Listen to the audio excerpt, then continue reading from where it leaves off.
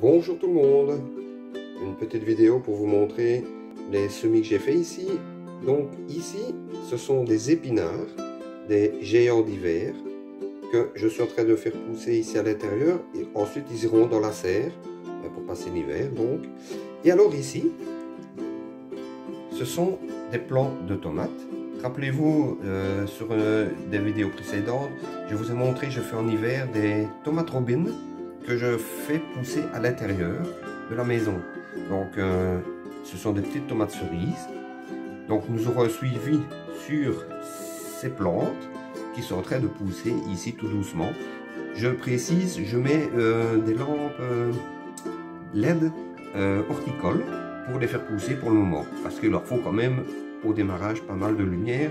Mais ensuite, ils passeront dans le living, devant la grande fenêtre qui donne sur la terrasse. Et là, euh, je les ferai pousser pendant l'hiver. Ici, c'est du chou Milan que je vais remettre au jardin. Voilà. Donc, vous voyez, je cultive un petit peu quand même pendant l'hiver. Voilà.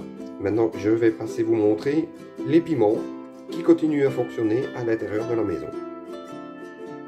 Donc, voici les plants euh, dans la cage, donc je vous ai montré avec euh, les lumières LED horticoles pour leur donner un maximum de lumière. Mais voilà, euh, ici vous voyez, ça donne bien. Et c'est protégé, c'est pour ne pas que les chats viennent manger les pousses que je mets dans une cage. Voilà, je vais vous montrer maintenant les piments. Donc voici les piments dans la maison. Euh, ici, ce sont les scorpions, Trinidad scorpions. Donc, euh, vous voyez, ils ont une belle couleur, ils sont très de changer. Euh, je vais bientôt pouvoir les récolter.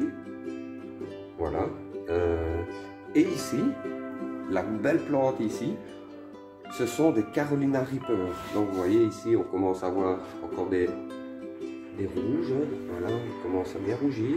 Ceci, normalement, d'après ce que j'ai pu lire et tout ça, ce sont les piments les plus forts au monde, ou, au moins un des plus, piments les plus forts au monde.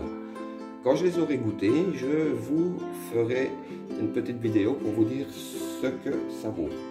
Alors ici, les potirons que nous avons récoltés au jardin, ben, ils sont à l'intérieur pour le moment parce qu'on n'a pas encore eu le temps de les préparer. Et j'en ai encore ici. Voilà, vous voyez, euh, voilà les, potirons. Ben voilà, c'était pour un peu vous montrer les, plantes que j'ai rentrées, que je fais à l'intérieur. Voilà. Euh, ben je vous souhaite une bonne fin de journée et portez-vous bien. À la prochaine.